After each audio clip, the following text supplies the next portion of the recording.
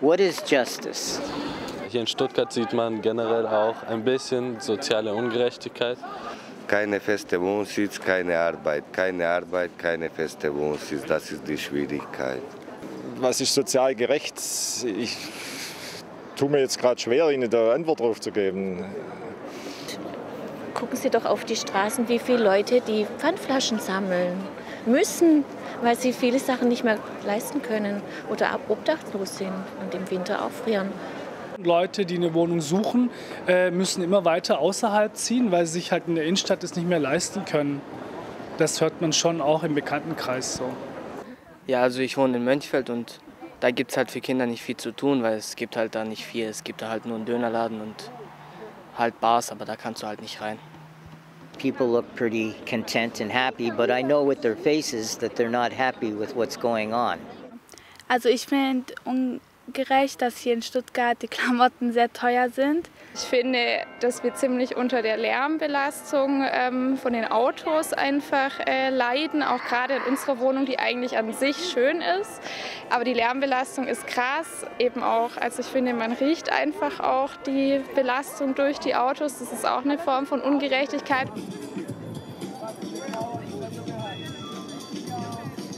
Ladies and Gentlemen, wir sind keine Fußballer, nicht gesponsert von der FIFA. Nein! Wir sind Künstler, aber auch nicht gesponsert vom Kunstmuseum. Nein! Auch nicht vom Königsbau. Nein! SPD. Nein! SPD. Nein! AfD. Nein! Oder von der Polizei. Im Gegenteil! Ladies and Gentlemen, uns geht's gut. Wir werden gesponsert. Von euch! Das bedeutet. Für uns Hip-Hop-Künstler äh, wir, wir arbeiten eigentlich viel mit Jugendlichen zusammen und sind immer froh, wenn Nachwuchs quasi kommt, weil wir uns um die nächste Generation auch kümmern möchten. Aber es gibt keine Anlaufstellen in Stuttgart. Wir machen viel, also auch im künstlerischen Bereich, im Integrationsbereich, in, äh, in der urbanen Kultur sind wir stark vertreten hier, aber wir werden von der Stadt Stuttgart auch etwas unterstützt.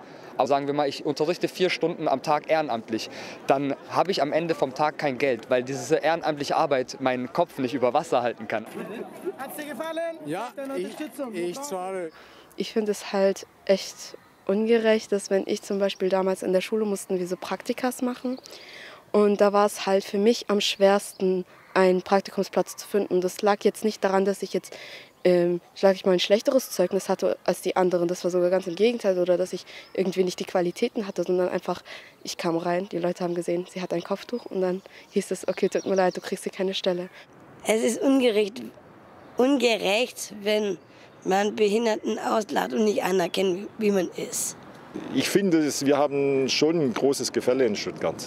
Also ich beziehe jetzt einfach mal die Gerechtigkeit auf, wer das, was Sie sagen, wer hat was zum Leben, am Monatsende noch und wer nicht. Und da gibt es bestimmt viele Leute, die schon von vornherein wenig, zu wenig haben und andere, die leben aus dem Vollen. Wenn ich für mich jemand ungerecht behandelt sehe, dass es für mich ungerecht behandelt ist oder sowas, dann, und ich kann was dagegen machen und ich kann ein Wort dafür einlegen, so, dann tue ich das auf jeden Fall. Es könnte eigentlich überall äh, besser gehen, aber ich finde, es ist wichtig auch, dass man ein, ein, die Veränderung anfängt.